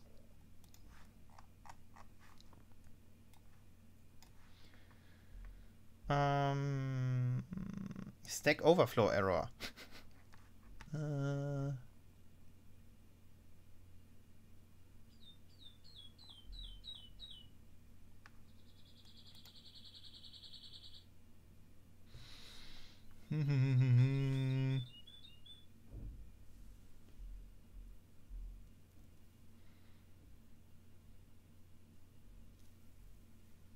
Genau. Ähm, Stelle richtig markiert. Wie kann ich das Problem lösen? Also ich finde, ah, ich habe einen Fehler gemacht. Äh, macht man ja immer ganz viel. Das hier finde ich super. Ähm, aber ich würde gerne noch was ergänzen, weil, äh, wie Sie sehen, bringt es nicht so viel, wenn wir äh, eine Szene, die schon pausiert ist, nochmal pausieren, weil wir dadurch dann diesen äh, Stack Overflow-Fehler ständig erzeugen. Hm, ich würde hier nochmal was ergänzen. Also wenn wir gerade eine aktuelle Szene haben und diese Szene aktuell gespielt wird, dann pausieren wir das Ganze. Wenn die Szene sich selber schon pausiert hat ähm, und oder wir die Szene schon pausiert haben, dann machen wir das hier nicht mehr, und dadurch äh, wird nicht ständig dieser ähm, Event-Callback äh, für das Pausieren aufgerufen und wir erhalten, wo ist es denn? Äh, hier nicht diesen äh, Stack Overflow-Fehler. Also hier Switch to Scene nochmal angepasst.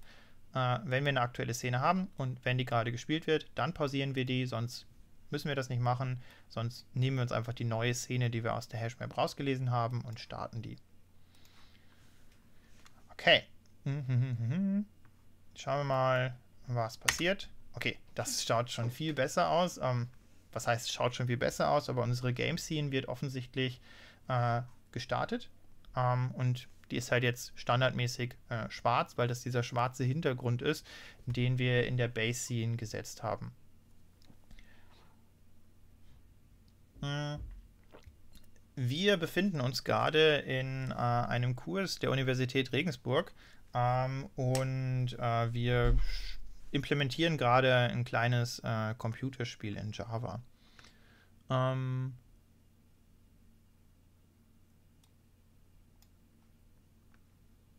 schauen wir mal kurz rein. Ähm,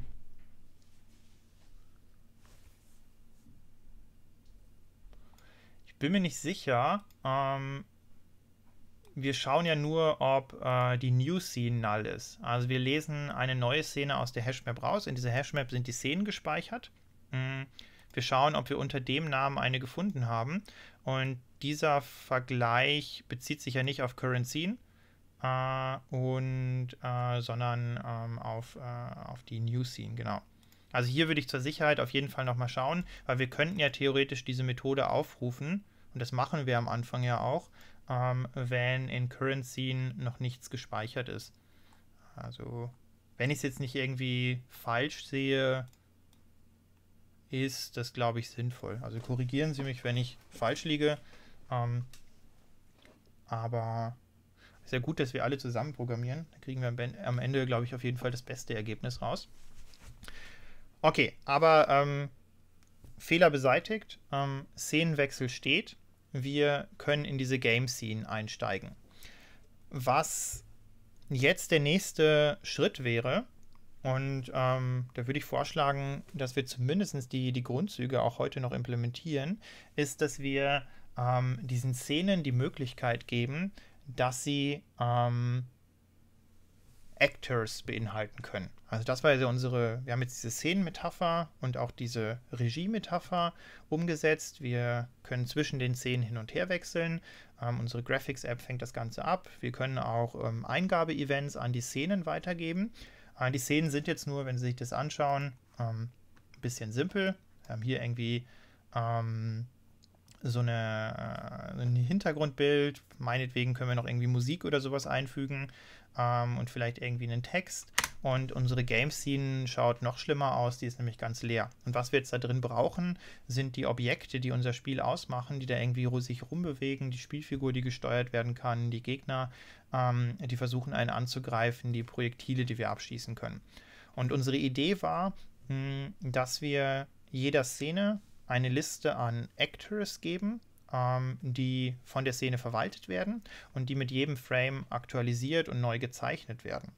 Und damit das funktioniert, ähm, brauchen wir jetzt irgendwie so eine Basisklasse ähm, in der wir abbilden, was einen einzelnen Actor innerhalb der Szene ausmacht.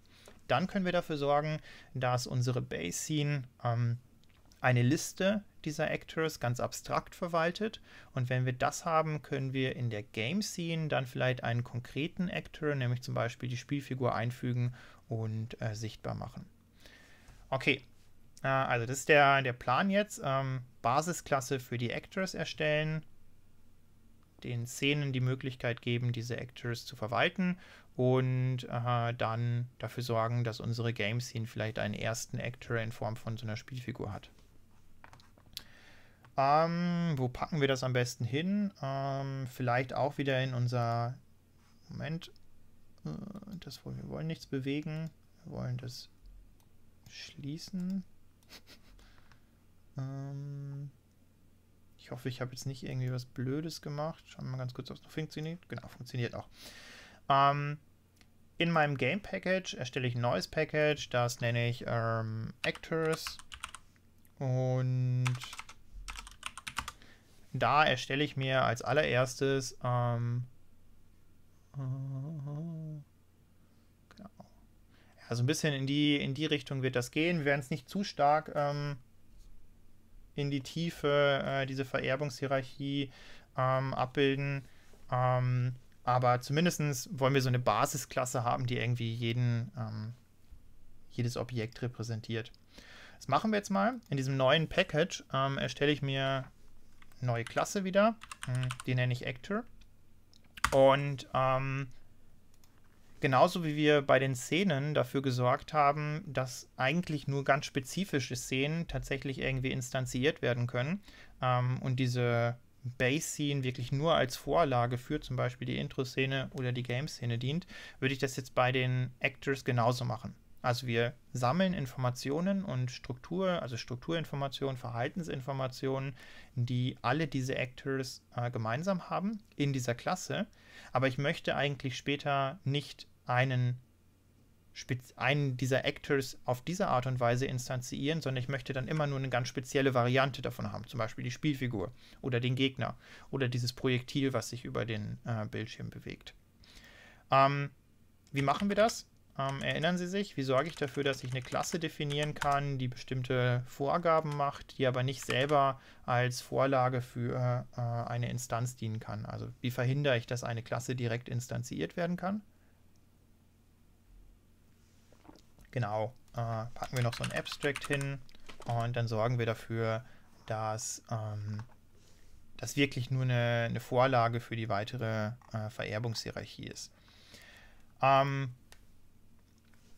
was jeder Schauspieler, jeder Actor, diese Schauspielermetapher ist ein bisschen schwierig. Sie werden das dann später merken, ähm, wenn wir diese Projektile abfeuern.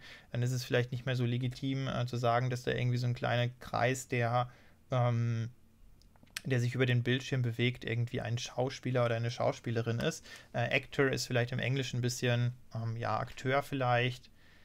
Ähm, Object oder sowas wäre noch schöner.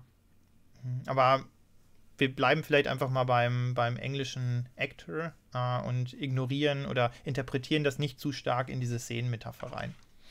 Äh, was muss jeder, Szene, äh, jeder Actor wissen? Ähm, der muss vielleicht wissen, ähm, zu welcher Szene er gehört. Und dementsprechend ähm, erstellen wir eine Instanzvariable. Ähm, ich lasse mal das Final ganz kurz weg, damit wir gleich sehen, warum wir das machen können. Ähm, vom Typen Base Scene und das ist die Host Scene. Äh, Host, also quasi die Szene, äh, zu der dieser Actor gehört. In meinem Fall, so wie wir diese Szene jetzt ähm, oder wie wir diese, dieses Spiel implementieren werden, das vielleicht kurz als, als Hinweis, ähm, wird ein Actor, also eins dieser Objekte, immer für eine bestimmte Szene erschaffen. Ähm, wir werden nicht implementieren, dass ein, ein Actor, zum Beispiel die Spielfigur, von einer Szene in die andere wechseln kann. Das wäre theoretisch denkbar.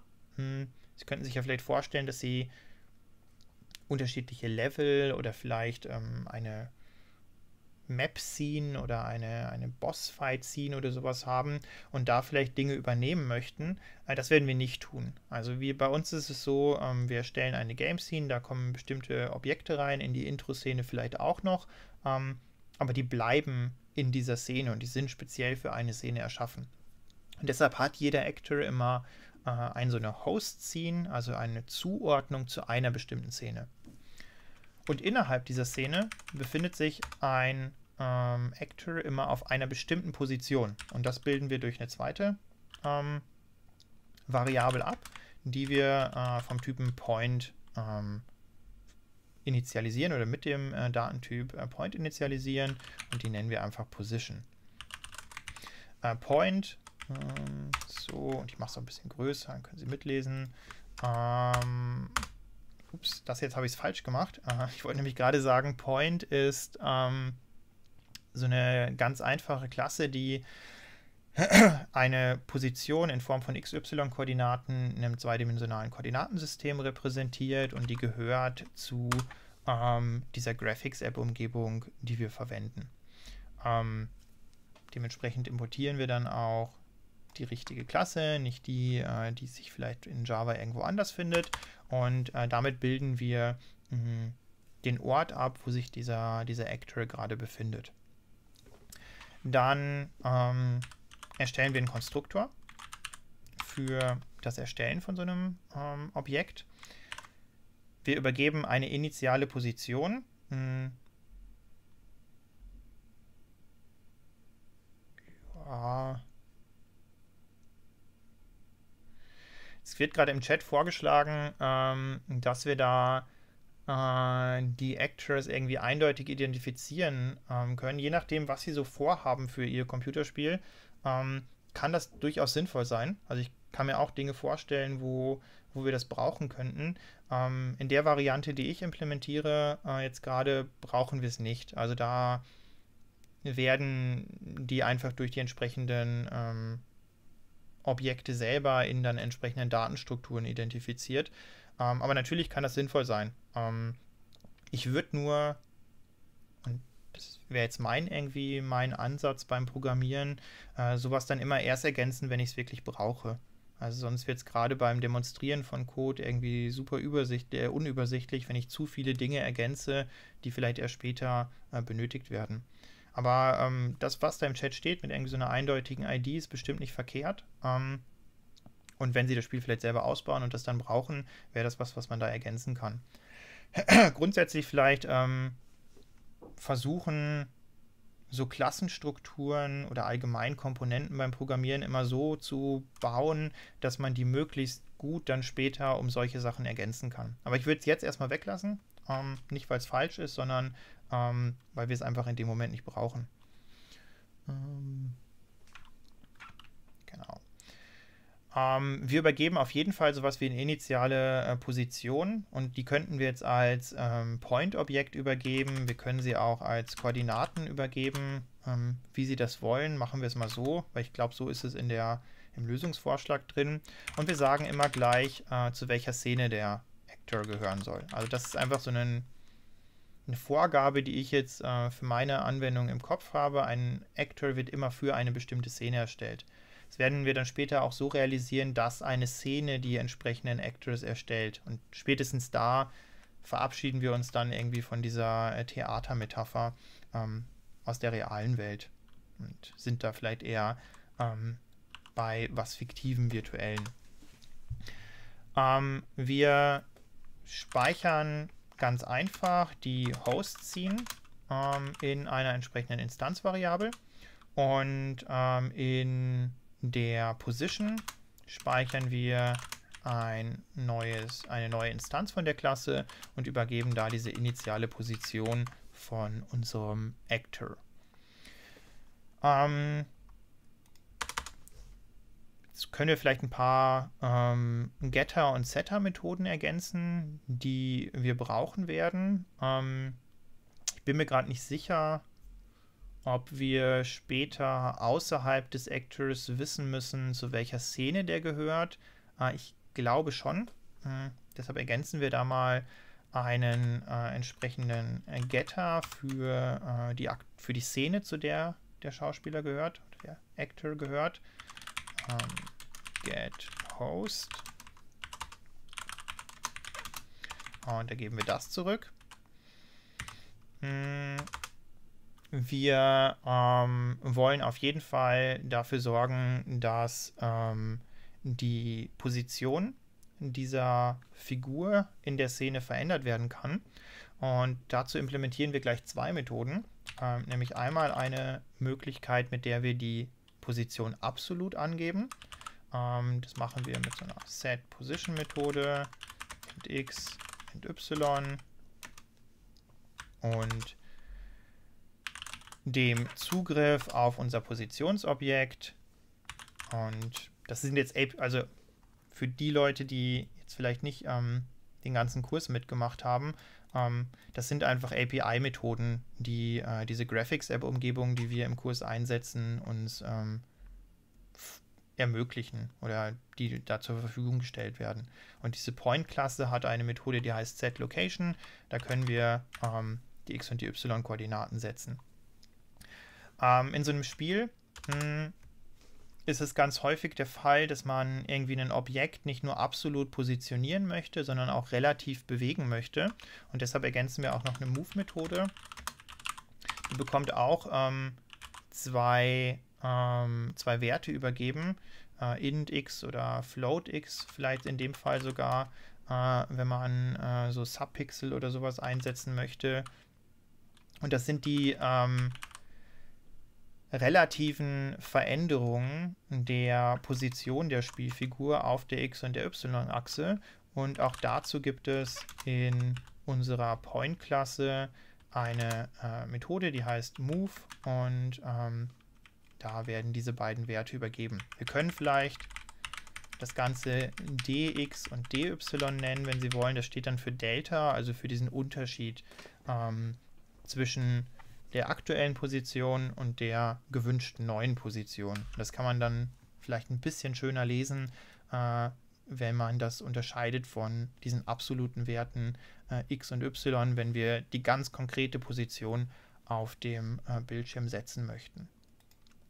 Dann brauchen wir vielleicht noch äh, eine Möglichkeit, die Position auch auszulesen. Get Position. Ähm, Jetzt können Sie zwei Sachen machen. Hm, Sie könnten sowas machen. Return ähm, Position. Dann würden Sie das Positionsobjekt äh, selber zurückgeben.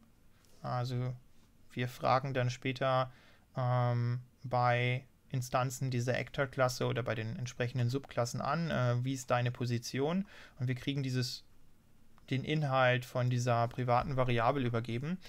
Ähm, oder zurückgegeben. Können Sie sich vorstellen, dass das vielleicht irgendwie äh, ein Problem sein könnte? Oder gibt es irgendwie Gründe, warum wir das nicht machen sollten? Also warum wir dieses Positionsobjekt jetzt nicht als Objekt nach außen geben sollten?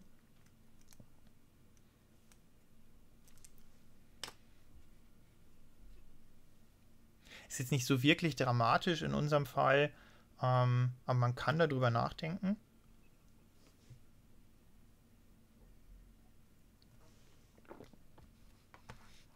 Genau. Ähm, wenn man es ganz, ganz äh, hart äh, sagen möchte oder ganz penibel ist, dann würde ich sagen, äh, das, was jetzt gerade im Chat geschrieben wird, ist nun zu 99% sicher. Ähm, denn in Java gibt es ja keine Referenzen, das sind ja alles Werte. Ähm, wird dann die Adresse als Wert übergeben, aber das ist irgendwie nur mein Steckenpferd, äh, dass ich immer drauf rumreite. Äh, Java ist immer Pass by Value, weil ein Referenzwert übergeben wird äh, und kein wirklicher Zeiger. Ist aber völlig egal. Es macht in der Praxis keinen Unterschied. Ähm, und äh, wir würden eben einen, eine Möglichkeit geben, auf dieses Objekt zuzugreifen. Und vielleicht wollen wir das nicht. Also vielleicht wollen wir, dass nur über diese Set Position oder die Move-Methode die Position verändert werden kann und wir nicht dieses Point-Objekt direkt ähm, verändern können. Also vielleicht wollen wir ja irgendwie hier so eine ähm, Fehlerkorrektur machen. Äh, keine Ahnung, wir schauen nach, ist die neue Position überhaupt valide innerhalb der Szene und wir wollen selber dafür verantwortlich sein. Und was wir stattdessen machen könnten, ist, wir könnten sowas machen. Wir geben ein neues Point-Objekt zurück und ähm, initialisieren das mit den Werten, die in dem alten Objekt drinsteht. äh, drinsteht, ähm, gespeichert sind. Also das sind ja primitive Datentypen, die wir da auslesen. Das heißt, hier wird tatsächlich ein Wert kopiert als Parameter an den Konstruktor. Wir erzeugen ein neues Objekt, in dem wird für die, ein, für die Verwendung von außerhalb die aktuelle Position gespeichert und wir geben das Ganze zurück. Also es wäre jetzt eine in dem Fall sehr einfache Möglichkeit, wie Sie trotzdem diese beiden Informationen in einer Instanz nach außen geben können, aber ähm, den direkten Zugriff darauf schützen. Ob das wirklich so notwendig ist, äh, jetzt in diesem Fall sei dahingestellt. Es schadet aber auf jeden Fall nicht wirklich. Ähm, was brauchen wir noch? Ähm, wir wollen ja später dass diese Szenen nach diesem Prinzip arbeiten. Ich habe eine Liste von Actors, ähm, die sollen alle aktualisiert und gezeichnet werden. Es ist dieser klassische Game Loop, ähm, den wir, oder Draw Loop haben wir es immer genannt, äh, in der Graphics App, der sich dann bis zu dem letzten Element durchzieht. Ähm, also diese zentrale Anwendung hat so eine Draw-Methode, ähm, die wird in einem regelmäßigen Abstand aufgerufen. In dieser Draw-Methode rufen wir die Render-Methode von der aktuellen Szene auf. Die aktuelle Szene ähm, würde äh, in dieser Render-Methode zuerst alle ähm, Actors aktualisieren. Ähm, es ist ein, ein hehrer Wunsch, äh, dass man irgendwie zwei Sachen zurückgeben kann, aber ähm, das ist, glaube ich, syntaktisch nicht so leicht umzusetzen. Und was schön wäre, äh, was es in anderen Programmiersprachen gibt, und ähm, ich muss zugeben, dass ich äh, gar nicht weiß, ob das nicht mittlerweile in Java auch auf eine ein oder andere Art und Weise möglich ist, dass man so Ad-Hoc-Objekte äh, erstellen kann. Also wenn Sie zum Beispiel in, in JavaScript arbeiten oder in anderen Pro äh, Sprachen, wo es so Objektliterale gibt, da kann man immer so schön äh, solche kleinen Sachen so realisieren. Geht halt in Java nicht. Ähm, bin mir gerade gar nicht sicher. Das muss ich auf jeden Fall nochmal nachschauen. Ähm, ob es nicht in Java mittlerweile auch so eine Möglichkeit gibt, so, so ad hoc ähm, Objekte anzulegen. Mit Arrays oder sowas würde ich nicht arbeiten. Ähm, das sind ja keine Arrays. Was wir da zurückgeben wollen, ist irgendwie ein, ein Objekt, was zwei Informationseinheiten bündelt und natürlich kann man das mit einem Array ausdrücken, aber da muss man es interpretieren. Da müssen Sie irgendwie als derjenige, der die Methode aufruft, äh, wissen, okay, ich kriege ein Array übergeben. In dem ersten, ähm, an der ersten Stelle steht die x-Koordinate, an der zweiten Stelle ähm, steht die äh, y-Koordinate. Ähm, wir wissen vielleicht nicht unbedingt, was dann da für ein Array, äh, was für, für Werte drinstehen. Also würde ich tatsächlich nur dann machen, wenn man wirklich in diesem Bereich der Anwendung ist, den man 100% selber implementiert ähm, und einen ganz guten Grund hat, mit solchen Sachen zu arbeiten. Also es kann vielleicht ja sein, dass das irgendwie super performant ist, wenn man wirklich selber eine Game Engine schreibt. Weiß nicht, ob man das dann in Java macht. Ähm, und es einen guten Grund gibt, gerade mit so primitiven Arrays oder sowas dann zu arbeiten. Ähm, ich würde aber jetzt auf diesem Level dann auch eher Objekte äh, bevorzugen. Und ich hätte gerne auch irgendwie so eine Möglichkeit, so Ad-Hoc-Objekte zu erstellen. Aber das, das ist ja auch super äh, so schon. Also irgendwie eine kleine Klasse zu erstellen, ähm, die x- und y-Koordinaten beinhaltet. In der Regel haben sie sowas auch schon in Java drin. Ähm, also solche Points oder Vektoren oder sowas ähm, sind, äh, sind ja eigentlich in jeder Sprachbibliothek oder Klassenbibliothek von der Programmiersprache vorhanden und äh, können dann auch, ohne dass man selber eine Klasse erstellen muss, ganz leicht genutzt werden. Aber ja, äh, manchmal wünscht man sich, dass, dass man zwei Sachen irgendwie zurückgeben kann. Oder zumindest ein bisschen flexibler arbeiten kann. Hat aber auch alles Vorteile, äh, dass in Programmiersprachen wie Java oder so gewisse Dinge einfach ein bisschen strukturierter und typisierter sind, als das vielleicht woanders der Fall ist. Ähm, wir geben die Position zurück. Äh, genau. Und ähm, wir wollen noch diesen Draw- und Update-Mechanismus ähm, auch bis auf die Actors runterbringen. Und deshalb schreibe ich jetzt mal schnell eine ähm, Methode Update und eine Methode Draw. Und das sind dann die beiden ähm, Stellen, die ganz am Ende ähm, in diesem Draw Loop, also in diesem großen, äh, in diesem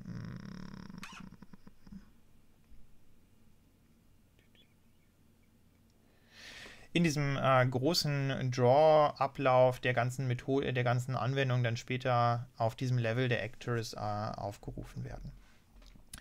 Okay, ähm, gehen wir mal in die Szene, in die Base-Scene zurück und sorgen wir dafür, dass dann unsere Szenen äh, tatsächlich auch ähm, mit diesen Actor-Klassen, die wir jetzt geschrieben haben, oder dann den spezialisierten Varianten, die wir davon äh, implementieren werden, ähm, auch umgehen können.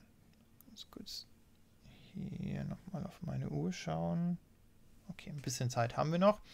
Ähm, und was wir jetzt zum Abschluss vielleicht noch machen können, ist äh, die Szene soweit vorbereiten, ähm, dass wir da im, im nächsten Schritt tatsächlich auch eine Spielfigur ergänzen können.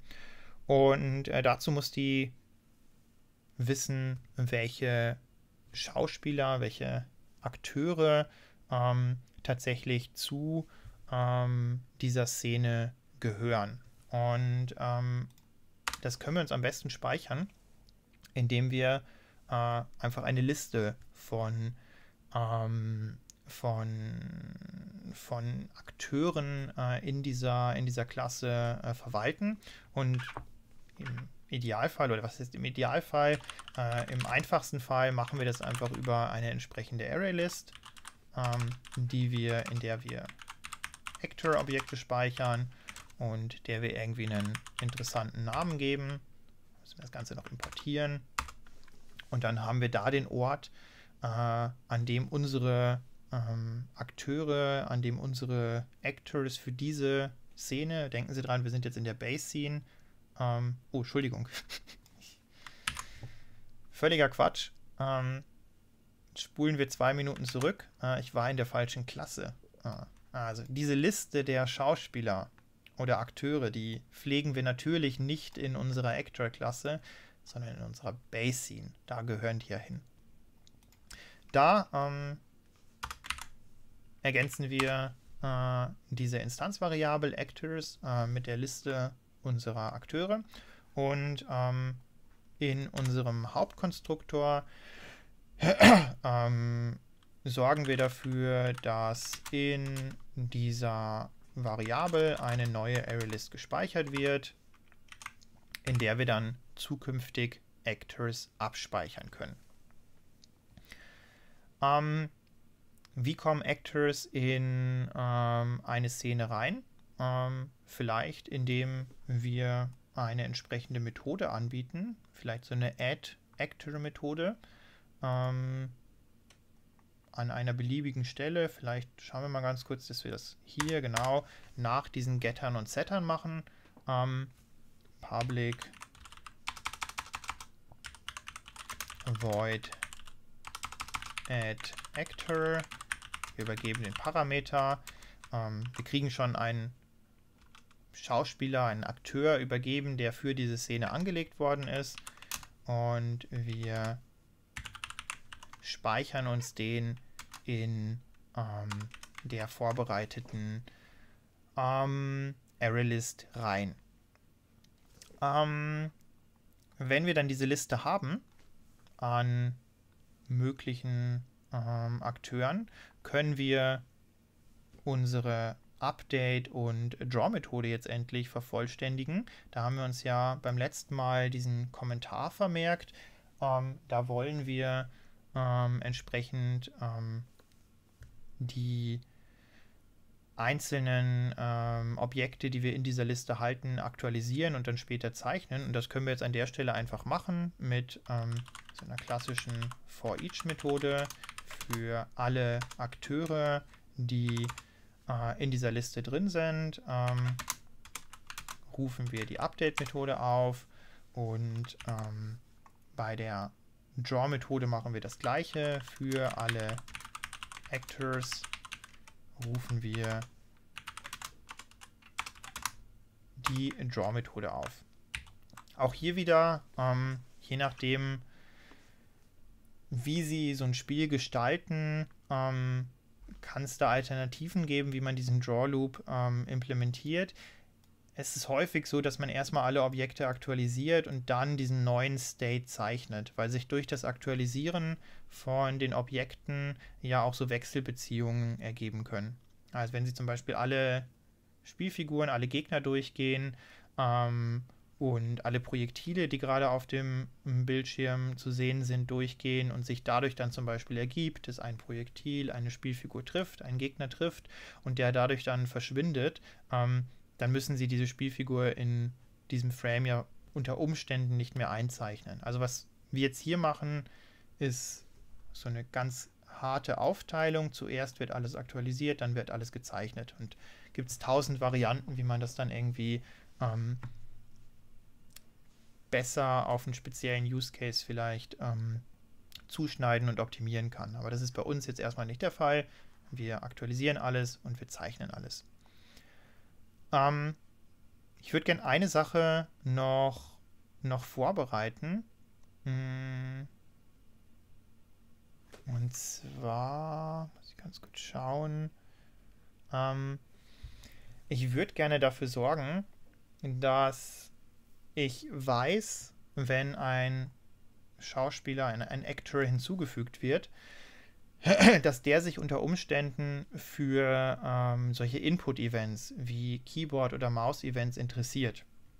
Weil ich später, wenn die Anwendung läuft, nicht ähm, alle Keyboard-Events und alle Maus-Events ähm, testweise an alle Actors übergeben möchte, ähm, wenn die gar nichts damit anfangen können. Also ich möchte, dass die Actors irgendwie signalisieren, dass ähm, sie an sowas wie, ähm, keine Ahnung, ähm, Keyboard-Events interessiert sind. Genau, also wir werden gleich die Interfaces benutzen. Ich möchte nur ganz kurz sagen, ähm, warum wir das machen. Und ähm, ich möchte dann die Sachen, die hier in dieser Base-Scene eingehen oder in der jeweiligen Szene eingehen ans Events, ähm, nur an die speziellen Actors weitergegeben werden, die sich dafür interessieren. Und dazu ähm, lege ich mir eine zweite ArrayList an und Sie werden gleich im Endergebnis sehen, gerade wenn Sie sich schon ein bisschen auskennen, das könnte man auch schöner machen, aber ich trenne das jetzt ganz sauber. Ich erstelle eine zweite ArrayList mhm, und da speichere ich mir Objekte rein, die diesen Keyboard-Input-Händler implementieren. Haben wir hier auch implementiert. Das ist dieses Interface, was wir auf unserer, in unserer Anwendung auf allen Ebenen verwenden, um äh, Keyboard-Events ähm, weiterzugeben die Leute, die später zugestoßen sind. Ich zeige Ihnen das ganz kurz. Es schaut so aus. Es sind einfach zwei Methoden, die, ähm, die in diesem Interface vorgegeben sind. Key Pressed und Key Released sind die beiden Ereignisse bei einem Tastendruck. Die Taste wird runtergedrückt, wird losgelöst und ähm, in diesem Parameterobjekt befinden sich immer irgendwelche ja, zugehörigen Informationen, ähm, Zeitpunkt, welche Taste gedrückt worden ist, äh, die wir dann über den Parameter abgreifen können die Base-Scene implementiert das schon und die kriegt diese Informationen auch schon weiter, äh, schon übergeben äh, vom Rest unserer Anwendung. Und äh, auf der Ebene von dieser Base-Scene ähm, erstellen wir uns eine weitere ArrayList. Keyboard Input Handlers können wir die nennen. Ähm, die initialisieren wir auch in unserem Konstruktor. Jetzt werden Sie, sehen Sie langsam, das, das wird alles umfangreicher und umfangreicher, je mehr wir implementieren. Und wenn wir dann so einen neuen ähm, Actor übergeben bekommen, in unserer Add-Methode, fügen wir den erstmal in der ArrayList rein, äh, hinzu, in der die Schauspieler gehalten werden oder verwaltet werden. Ähm, und wir prüfen, ob es sich bei dem konkreten Objekt, was übergeben wird, um ein Objekt äh, ja, ähm, also ich, ich, implementiere mal ganz kurz äh, zum Ende noch das, was, was ich mir vorgestellt habe. Ähm, dann sehen Sie, dass das, was Sie geschrieben haben, auch funktionieren würde. Ähm, nur ähm, möchte ich das an zwei unterschiedlichen Stellen machen und deshalb ähm, implementiere ich zwei Listen, weil so eine Liste, die kostet nichts, da steht ja nur irgendwie die Adresse drin, äh, wo das Objekt im Speicher gehalten wird. Das heißt, da sind ja nicht zwei Objekte drin. Und ich kann an einer anderen Stelle speziell über diese Liste, die ich hier pflege, iterieren, ähm, nämlich an der Stelle, wo die Events eingehen. Weil das passiert nämlich bei uns ähm, nicht im ähm, nicht innerhalb dieses Draw Loops. Das ist vielleicht noch eine Information. Äh, diese, diese Events, ähm, diese Tasten-Events, die werden parallel zu dem Draw Loop weitergegeben. Es liegt einfach an der entsprechenden Library. Aber das, was da gerade geschrieben wird im Chat, äh, ist auf jeden Fall nicht falsch. Also es gibt auch hier wieder unterschiedliche Möglichkeiten und das, was ich jetzt mache, ist nicht unbedingt allgemein die, die bessere. Ich schaue mir an, ob der Schauspieler, der Actor, der hinzugefügt werden soll, ähm, dieses Interface implementiert. Und wenn eine Klasse ein Interface implementiert, sind die Objekte, die von dieser Klasse instanziert werden, ja auch Instanzen äh, des Interfaces. Ist ja Polymorphismus, den wir äh, in Java kennengelernt haben. Und wenn das der Fall ist, dann nehme ich mir meine äh, ArrayList und speichere da zusätzlich dann noch den Actor rein. Ähm, und natürlich muss ich den dann ähm, casten, damit das funktioniert. Hops, Moment. Jetzt aber. Keyboard Input Händler, so müsste es ausschauen. Wo habe ich da? Habe ich noch einen kleinen Fehler drin. Äh, genau. Also wenn wir ein Actor übergeben bekommen, der auch ein Keyboard-Input-Händler ist, dann merken wir uns den hier. Und das machen wir deshalb, weil wir ähm, jetzt in der eh schon existierenden Methode, ähm, die wir haben, um in dieser Base-Scene diese Key-Events abzufangen, nochmal, die passieren parallel zum Game-Loop. Ähm, das ist gar kein richtiger Game Loop, wenn man es hundertprozentig genau interpretiert. Können wir jetzt einfach ähm, alle Keyboard-Input-Händler ähm, anschauen, die wir in dieser ArrayList gespeichert haben und ups, für die Actors, die sich auch tatsächlich für diese Events interessieren, äh, geben wir den Event weiter. Und das gleiche machen wir, Copy and Paste, für den zweiten, für den Released-Event und ändern da nur die entsprechende Interface-Methode, die wir aufrufen. Ähm, was man natürlich auch machen könnte, ist, äh, man könnte hier ähm, über alle Actors drüber iterieren. Ähm, for Actor, Actor in Actors. Schön zu sagen, vielleicht nicht super zu lesen. If Actor instead of um, Keyboard Input Händler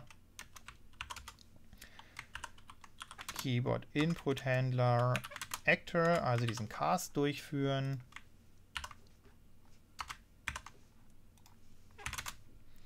Handle Key Pressed, Event und hätte dann am Ende das gleiche Ergebnis.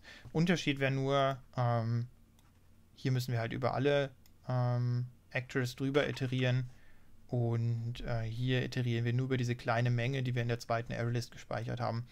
Wieder kommt drauf an, was Sie irgendwie vorhaben. Ich habe ja in diesem, in diesem Design, was ich hier versuche zu implementieren, äh, das so einfach gehalten, dass wirklich alles, was in dem Spiel passiert und sichtbar ist, am Ende so ein Actor ist. Und das heißt, es gibt eine ganz, ganz kleine Anzahl an Actors, die sich äh, tatsächlich für diese Events interessieren. Äh, das wird eigentlich nur die Spielfigur sein, die gesteuert werden soll. Alle anderen Actors sind nicht beeinflusst durch irgendwie Tastatur- oder Maus-Events.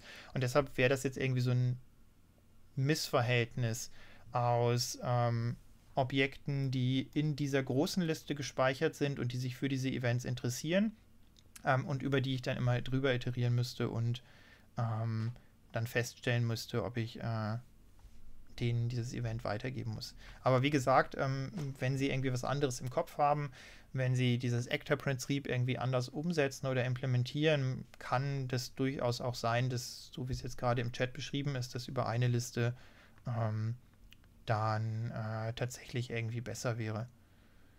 Ähm, ja, und wir können auch andere Datenstrukturen und sowas verwenden. Wir verwenden jetzt einfach das, was wir im Kurs bis jetzt kennengelernt haben.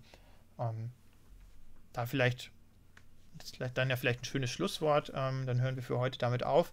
Ähm, von diesen Datenstrukturen, die wir so im Kurs kennengelernt haben, gerade Listen und auch Maps, äh, gibt es in Java noch ein paar mehr Varianten, als wir ähm, kennengelernt haben. Also zum Beispiel sowas wie Linked List oder in der Hashmap-Variante dann sowas wie eine Weak-Map, ähm, die sich unterschiedlich oder die sich anders verhalten als die Datenstrukturen, die wir kennengelernt haben und die für spezielle Anwendungsfälle äh, möglicherweise besser geeignet sind. Also das vielleicht noch so als allgemeiner Hinweis. Ähm, Sie haben jetzt hier in dem Kurs, das ist ja quasi Programmieren 101, äh, nicht alle Datenstrukturen kennengelernt, die äh, es so gibt und auch nicht die, die es in Java gibt. Und äh, es kann sein, es ist sehr wahrscheinlich, dass es für bestimmte Anwendungsfälle bessere Alternativen gibt, als die, die wir hier verwenden. Hm.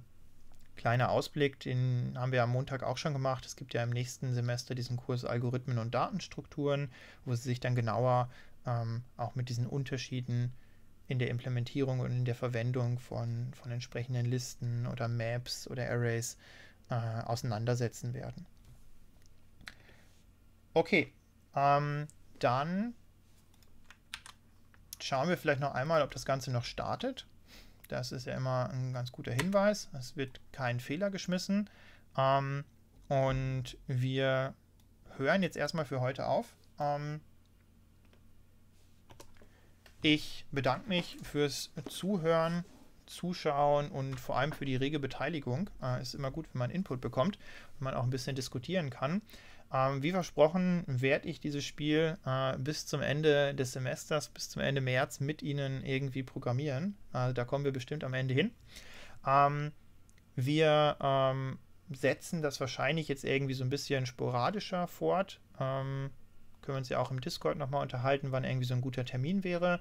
Und ich werde alle Sachen, die ich dann äh, streame, natürlich auch wie immer auf YouTube veröffentlichen. Das heißt, Sie können sich, wenn Sie irgendwie einen Teil verpassen, äh, das Ganze auch nochmal äh, im Anschluss anschauen als Video. Das war es jetzt aber erstmal ähm, für heute. Ähm, ich wünsche Ihnen noch ein schönes Wochenende, das jetzt dann gleich startet. Viel Erfolg bei der Vorbereitung auf die Klausur, die wir äh, nächsten Donnerstag schreiben. Und ähm, da dann vielleicht auch nochmal ganz kurz der Hinweis, probieren Sie die äh, Testklausur durch äh, aus, damit Sie wissen, wie dieses E-Prüfungssystem ähm, tatsächlich funktioniert, ähm, wie ähm, die Klausur an sich abläuft, haben Sie im, im Discord schon gesehen.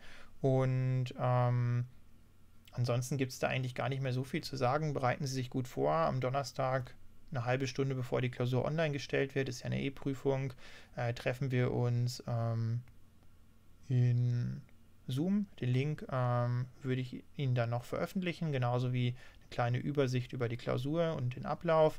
Und da besprechen wir dann alles weitere.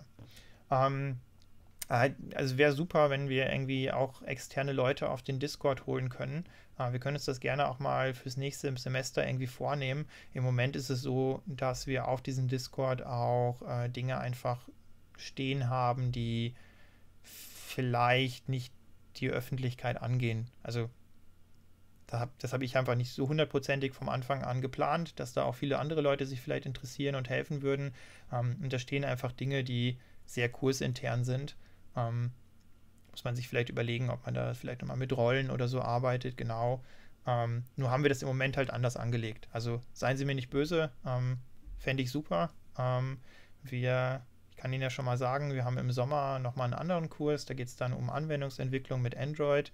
Ähm, und da haben wir auch einen Discord-Channel, der offener ist, ähm, weil der Kurs an sich äh, als virtueller Kurs über die VHB in Bayern äh, organisiert wird.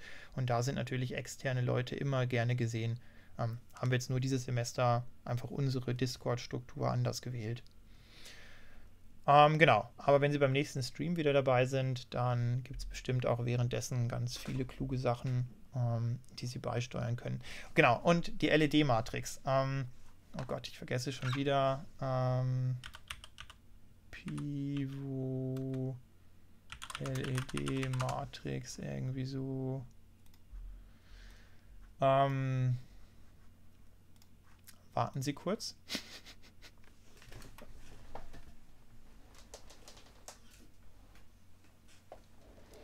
Die Woom heißt das. Und ich habe immer noch keinen Affiliate-Link, aber wenn Sie danach suchen, finden Sie äh, dieses Ding, was Ihnen so gefallen hat und äh, können sich das dann auch für zu Hause besorgen.